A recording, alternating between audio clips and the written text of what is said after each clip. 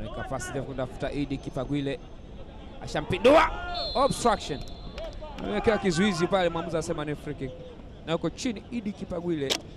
Alishakubali lakini akarudi katika njia. Acha tuone hii. Idi Kipagwile weka ndani kule, cheza mwenda, weka mpira mwingine, tenda kucheza. Mpira ndani. Hatimaye Frank Raymond Damao chumvi anaweka chumvi kwenye mboga, anaenda kucheza na kushangilia seli kwa kina Aubameyang ile bao la kuongoza ikifungwa na captain Frank Domayo chumvi. Baada ya goalkeeper kufanya kazi kubwa. John Mwenda.